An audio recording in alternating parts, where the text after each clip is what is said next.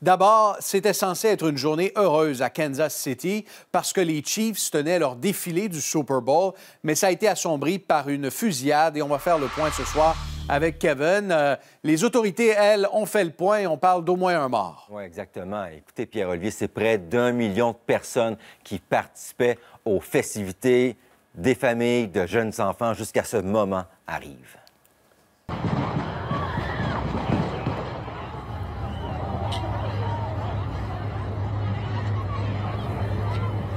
Et à la fin de l'événement, il y a eu des coups de feu à la gare de train. Vous les avez entendus dans cette vidéo. C'était la panique sur place.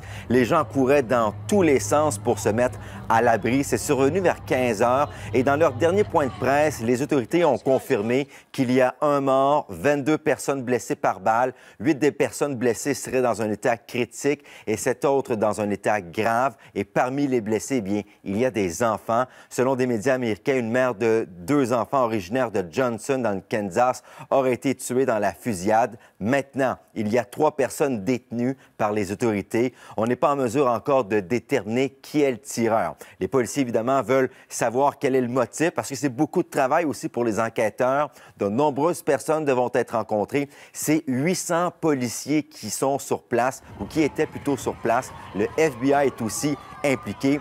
En terminant, je vous montre une publication des Chiefs de Kansas City parce que cette journée, c'était pour eux, les partisans, où est-ce qu'on réagit à l'événement en disant être attristés par euh, les actes de violence insensés qui sont survenus après la parade d'aujourd'hui. Une terrible tristesse. Merci, Kevin, et on se retrouve à 22 h avec les plus récents développements. Oui, à plus tard.